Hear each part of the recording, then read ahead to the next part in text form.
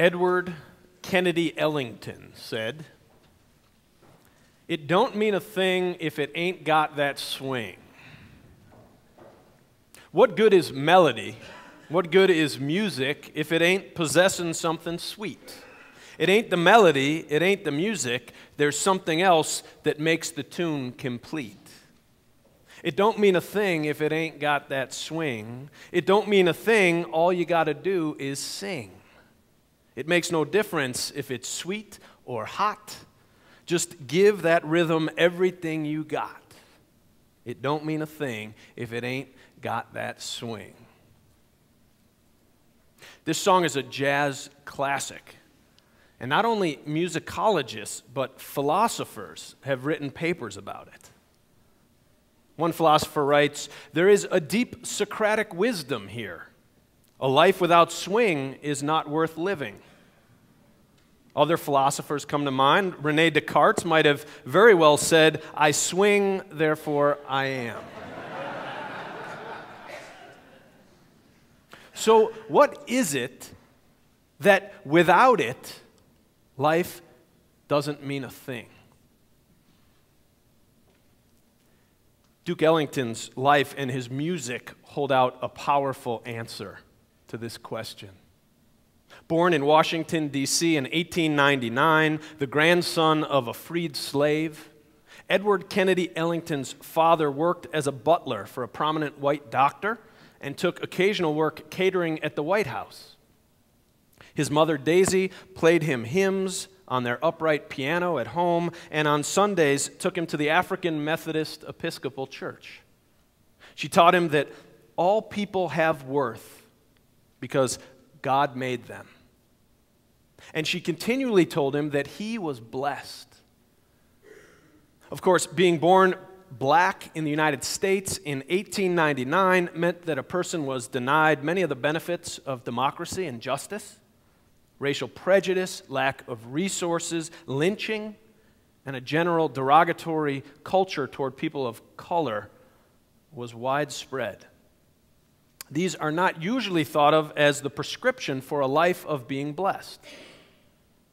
But as Janna Steed explains in her spiritual biography of Ellington, black Protestants had their own perspective on the stories found in the Christian tradition.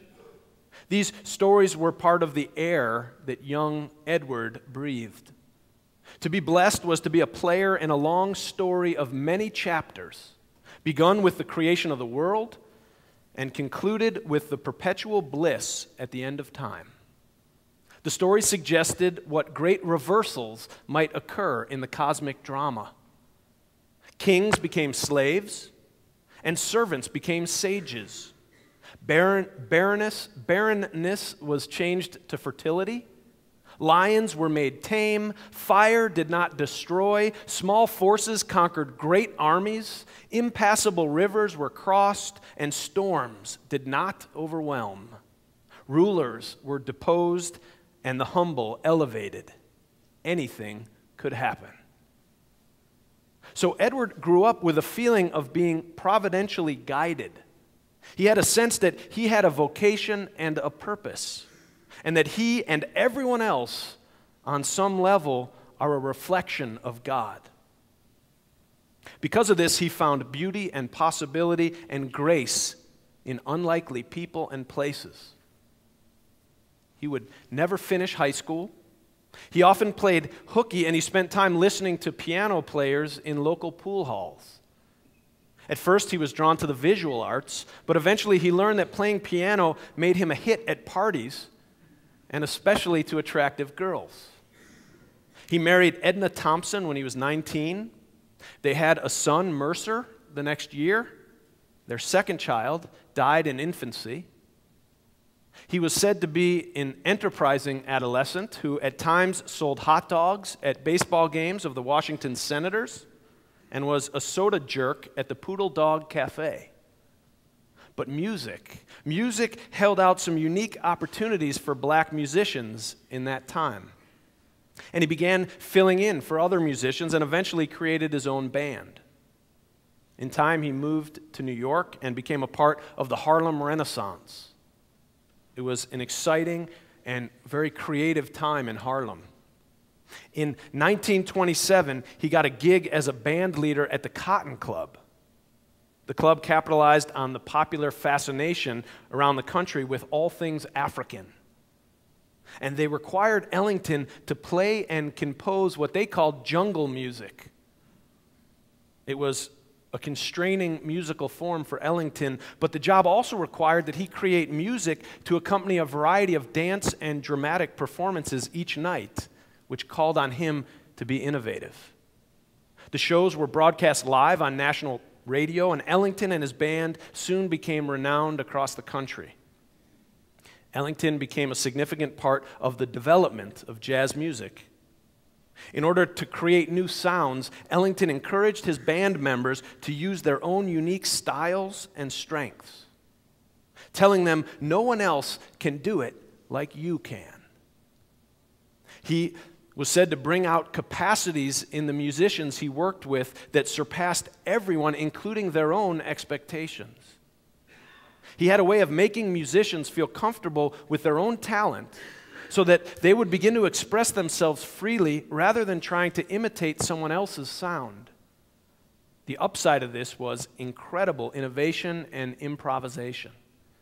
The downside was that whenever his band lost a member, they would have to replace some of the major songs in their repertoire because of the loss of a particular sound. It didn't matter if he found another excellent musician who played the same instrument, Ellington had to create new music that capitalized on the unique gifts of the new player. In fact, that is a big part of what it means to have swing. It's about believing that each person is one of a kind and that what's unique in each person is a gift from God. It's one thing to play the notes of a score, and it's a completely other thing to add some swing and personality. Rick, can you, can you just play some notes of a song without swing?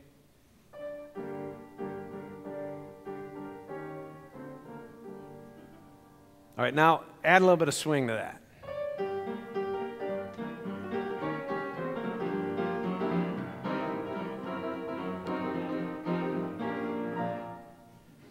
All right. So you hear the difference. And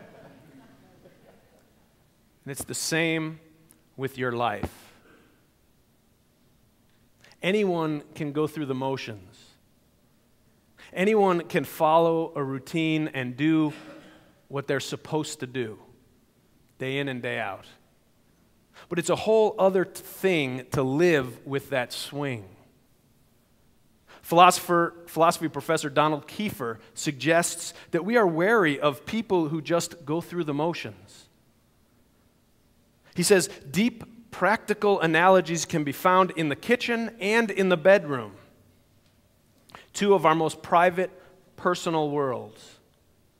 In the kitchen, we say that the cook who tastes and improvises all along the way in the execution of a recipe is the gifted cook rather than the one tied to the recipe. In the bedroom, what could, what could be closer than the analogy of making love with that of making music, as opposed to just having sex with that of just playing the notes.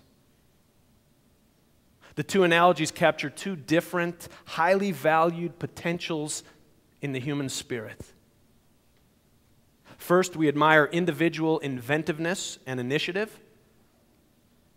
Second, we praise and yearn for the capacity to reciprocally provide and receive love, pleasure, and excitement from another human being.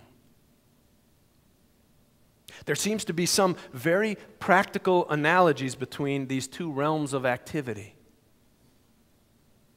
So, where does that vitality, that individual inventiveness and initiative come from? Duke Ellington and his music offer us some powerful clues.